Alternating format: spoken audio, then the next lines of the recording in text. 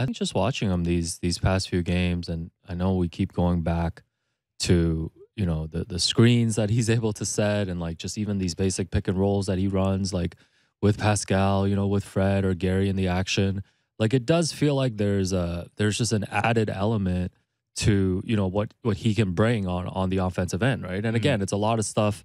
Like we were reading his box score, like you don't really see that, right? You know, I think defensively there is an adjustment, and it does it does bring me back. It's interesting him talking about the different styles, you know, in San Antonio and here, and it it does bring me back. Like I know you were talking about it on Friday too, just about how this defensive scheme of the Raptors just haven't been as flexible as maybe they should be Mm. depending on like game scenarios.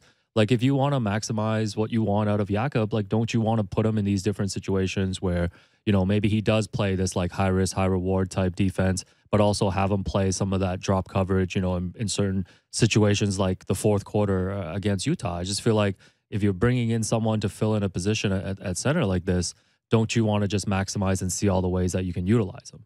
Yeah.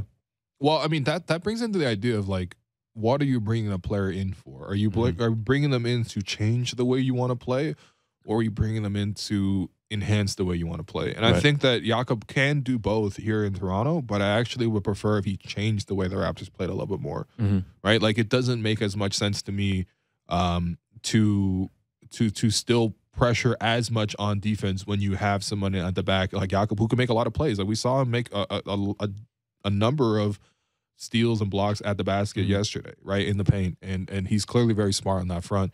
And then offensively, yes, he's good at screen and screen and roll in the sense that he can really get um, you know the ball handler free going downhill, and um, you know obviously he's a target down low as well, so they can find him um, more often. And and I think the two games here they've mostly found him on pick and roll scenarios, and I think they've actually been able to defeat him oc- occasionally there. But are there more opportunities to sort of give him the ball in the middle of the floor, let him run the dribble handoffs, let him, you know, um, not necessarily attack through the post because he's not that aggressive of a player, but um, you know, be able to to to let other guys attack off ball and introduce more movement and flow into the offense. Because again, I think that's is not, not part of the reason why you bring him in.